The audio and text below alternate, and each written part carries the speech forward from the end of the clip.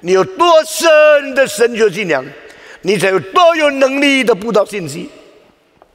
马丁路德讲一句话很感动我：当我被上帝那个圣洁的愤怒燃烧的时候，我做的工作那个时候是最好的。神的愤怒、神的圣火燃烧你的时候，你疯狂的为这样的工作，而你的疯狂是有真理的基础、有智慧的谋略、有神的灵与你同在，那你是所向无敌的。今天我在找发疯的人在哪里？今天我在找有学问又肯发疯的人在哪里？你一定要肯为主发疯，预备自己奉献被上帝使用。神可能从你们中间兴起第二批、第三批，在神国度里面大大被上帝使用的人。我们对主认识多少？我们对人的爱多少？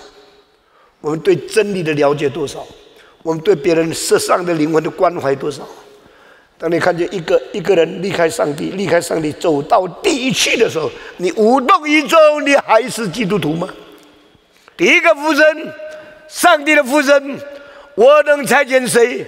谁敢为我们去？这是上帝在以赛亚书第六章的附身。第二个附身，圣子的附身，庄稼熟了，有谁肯去收割呢？第三个附身，圣灵的附身。圣灵说：“凡愿你都来取水。”第四个附身，使徒的附身，使徒们要大家去传道。我若不传福音，我就有祸了。第五个附身，第一的附身，第一盼望有人传福音。基督徒啊，如果你不传福音，你的爱心连财主下地狱的人的爱心都不如。我如果不传福音，我比灭亡的人还更没有爱灵魂的心。